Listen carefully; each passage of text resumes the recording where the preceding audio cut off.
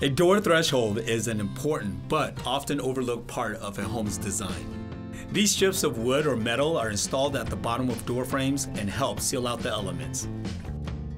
We'll show you the basics of replacing a worn or damaged threshold for interior and exterior doorways. The first step in replacing an exterior door threshold is removing the existing one. Use a putty knife to remove the screw covers on your old threshold. Unscrew the threshold then, remove the plastic piece.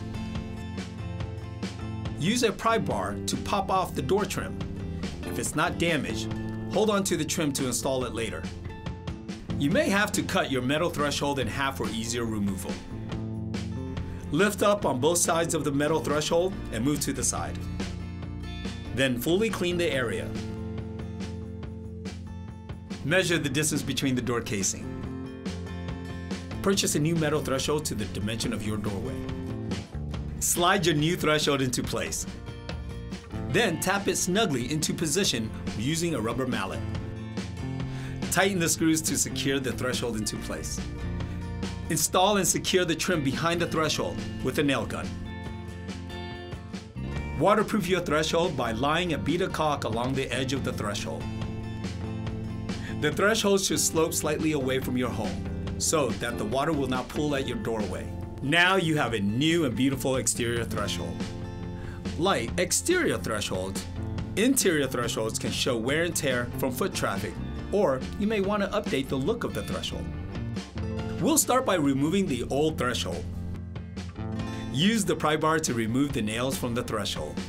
Then, lift up and remove the threshold. Carefully measure the width of the doorway for the new threshold. Mark the new threshold with the measurements. Cut the new threshold to the length needed for your doorway. Then, we'll notch the ends of the new threshold so it fits. Use a carpenter square to measure around the door stop molding and mark perfect right angles for the notches. Then, cut out the notches. Position the threshold underneath the door stops. If needed, use a rubber mallet to tap it snugly into place.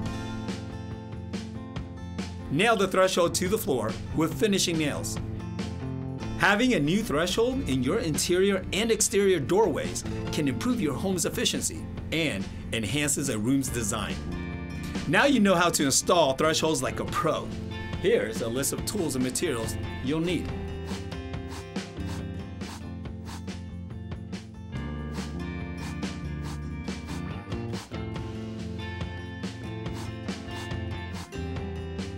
Good luck and thanks for shopping at the Home Depot.